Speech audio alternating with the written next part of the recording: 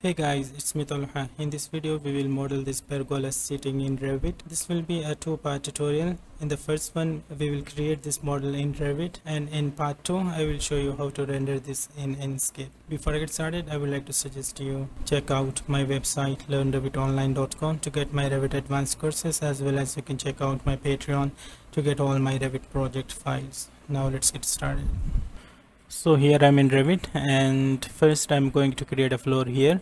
So select floor and I'm going to create a 16 feet by 16 feet floor. Let's make it 16 feet. 16 on this side as well. Perfect. Let's click finish. And now we can create a wall here. So let's go to architecture select wall and change the unconnected height to 10 feet and location line to finish face exterior and just create a wall here like so. If I go to 3d see we got our floor as well as uh, this wall here. Now to create the planters and the seating I'm going to use model in place. So let's go back to level 1 and let's select model in place from this drop down and select generic model from this list. Click OK let's call it planters and seating. Click ok. And now I'm going to use extrusion to create the planters. So select extrusion and draw a rectangle. Let's make it 12 feet. And the width will be 1 foot 6 inch. Perfect. Let's click finish and go back to 3d and you see uh, we got our extrusion here. Now to change the height of this we just need to select that and change the extrusion end here. Let's make it 5 feet. And now we can create a void here. So let's go back to level 1 go to create select void uh, extrusion from this drop down. And then select rectangle again and and give 2 inches offset. And just draw a rectangle here just hit spacebar once to draw the rectangle inside uh, of the uh, this extrusion. Let's click finish and go to 3d and our extrusion is not visible here so let's just drag that out of this extrusion. Go to the front view and drag it from here as well. Let's leave it here. So we got something like this our planter is now ready. We can just create uh, a sweep here. So let's go to create select sweep pick path pick these edges here and go to the front view. First click finish uh, finish path and then uh, edit profile and just draw a simple uh, profile here. It will be 2 inch by 1 1 inch. Let's click finish. Finish again and you see we got uh, our planter ready here. Now we can just copy this to the other side. Then we will just change the height of this planter. So let's go back to level 1 and if you notice the other uh, the sweep is not visible here in this plan view. So to make it visible here you just need to edit view range. So press VR on the keyboard and this dialog box will pop up. Here you just need to change the cut plane uh, offset. If you remember the height of this planter is 5 feet so we need to give any uh, anything above uh, 5 feet. So let's try 6 feet. Click apply. There you go. Uh, this sweep is now visible here. Now let's click ok select all of these and then rotate. Make sure copy is checked. Just rotate it 90 degrees. Perfect. Let's just move it here. Okay I want to delete this sweep. And then uh, change the height of this. So select this extrusion and let's make it 3 feet now we need to move the void also. But before that let's just drag this extrusion until here. Until the face of this one. Now select void. Edit extrusion. Go back to level 1 and first just drag it until here and then move 2 inches. Perfect. Let's go back to 3d now go to the front view and just drag this void extrusion like so. So we got these two planters here. Let's just mirror this one uh, to this side. So let's go to level 1 so just select this planter mirror mirror from the middle of this floor here. Perfect. Let's change the height of this uh, planter to 2 feet 3 inches and then just drag it until here and just take that out of this extrusion as well. Now let's select the sweep edit sweep pick path and just delete this the previous one. And then use pick uh, pick 3d edges and pick the edges here. Click finish and let's see the profile. I think we need to move the profile. So let's go to the front view select this profile edit profile and just take that uh, just move it out of the uh, extrusion here. Now let's click finish. Finish again.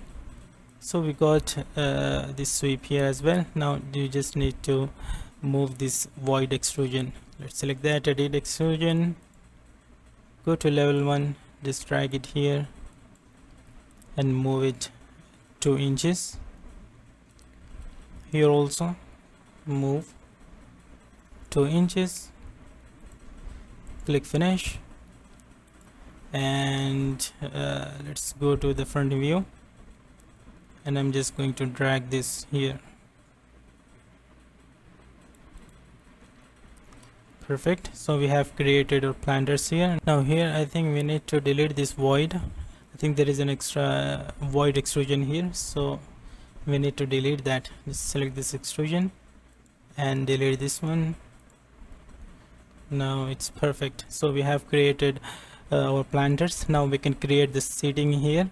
So let's go back to level 1 and go to create. Select extrusion again and use pick lines. And uh, we want to give 2 feet 3 inches offset from here and then 2 feet 6 inches from here let's use tr and trim these lines and uh, just drag this one until here.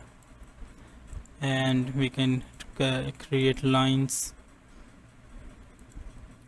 Just close that from here and then let's select this line and make it 8 feet. Click finish and we can uh, change the height of this to 10 inches. So we got our seating here. Now we can create the cushions uh, on this seating for that we can use sweep and extrusion. So first let's create a sweep. Go back to level 1 select sweep and sketch path. Let's draw a rectangle here again. This will be 3 feet 10 inches let's just drag this until here and then let's move it 2 inches from this side as well as here 2 inches. And uh, let's click finish and now we can uh, create the sweep profile. So click edit profile go to the right view here and let's change the visual style to wireframe.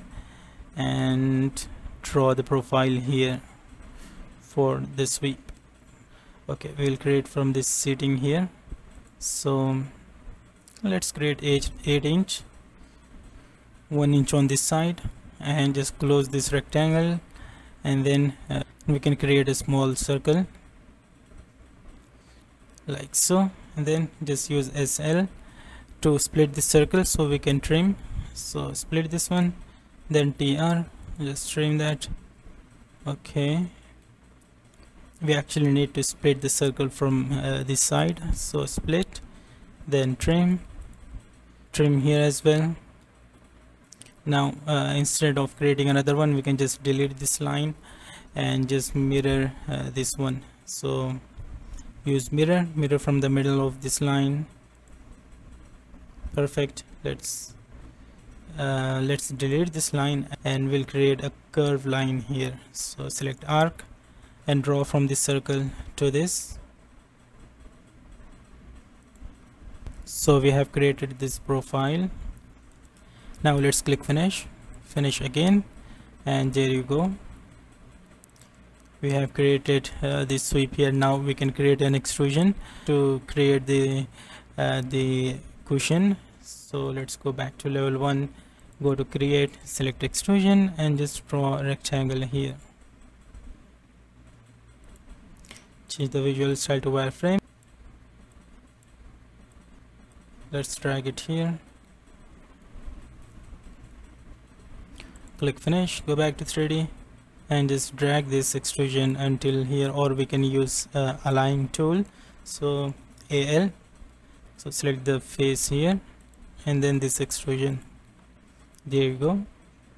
I think from the bottom also we need to drag that until this seating. Perfect. So we have created this cushion here. I'm just going to copy this to the uh, other side here. So let's go back to level 1 first I will just move it to the corner. On this side also now copy. From here let's create uh, so here we need to edit this edit the size of this cushion. So I'm just going to drag that until here and then select the sweep edit sweep and then sketch path and just drag this line until the edge of this extrusion. Then click finish and uh, there you go we got these two cushions here. Now I'm just going to repeat the same procedure to create the cushions on this side as well.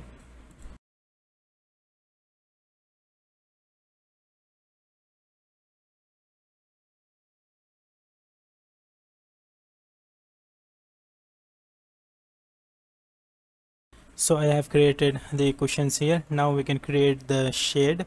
So for that let's go back to level 1 now first I'm going to create a frame here using sweep. So select sweep from here then sketch path select rectangle and give 2 inch offset here because of the profile of this sweep uh, is going to be 2 inches. So let's uh, draw a rectangle from here from that corner to this. Again just hit space bar once to draw the rectangle inside of uh, this floor here.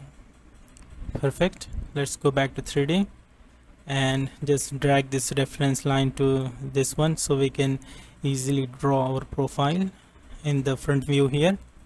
Now first uh, click finish uh, the sketch path and then uh, select profile or you can we can create a profile from here. So click edit profile and then uh, first I will just draw a simple rectangle here a 2 inch by 8 inch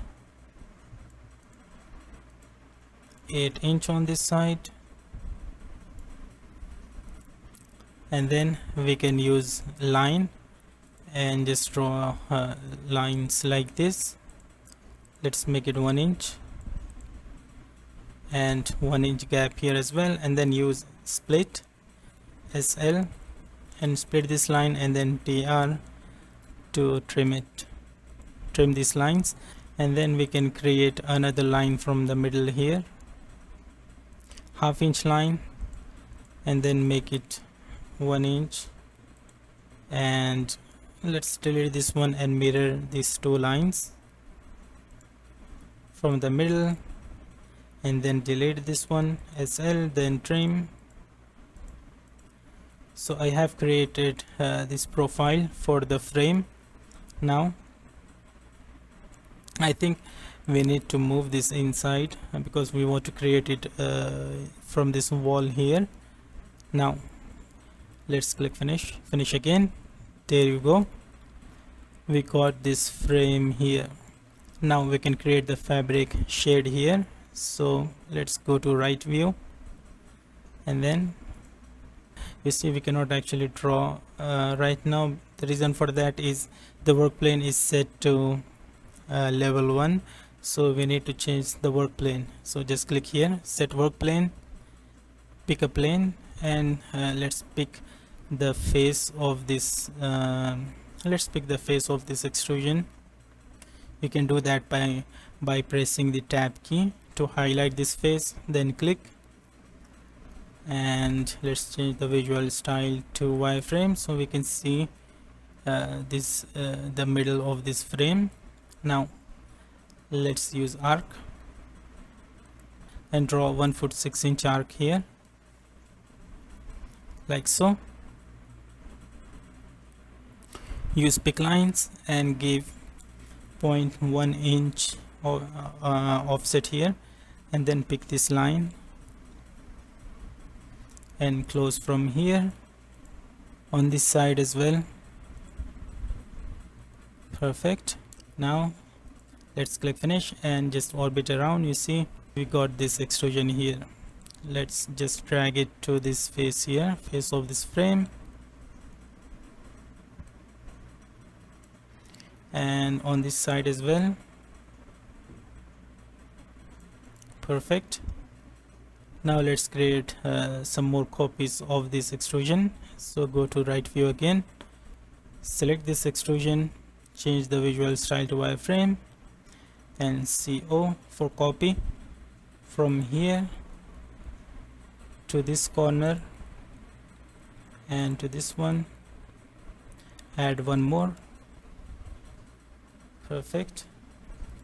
So we got our shade uh, fabric shade here as well so I think we have finished modeling this pergola seating now we can assign material parameters to these generic models.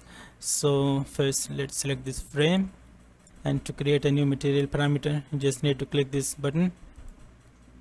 And then create a new parameter. Let's call it metal or frame or whatever you want to call it. Then click ok.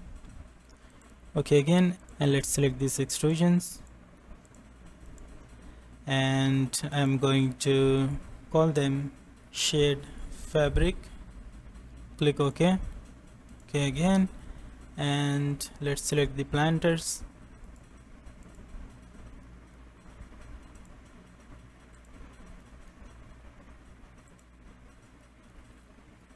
Click here again. Create new parameter. Planters okay. Now let's select this seating and I will call it seating and then we have these uh, cushions. So let's select all of these.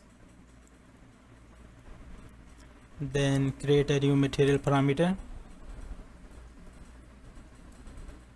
Cushion. Click ok. Okay again so we have created this pergola seating in revit.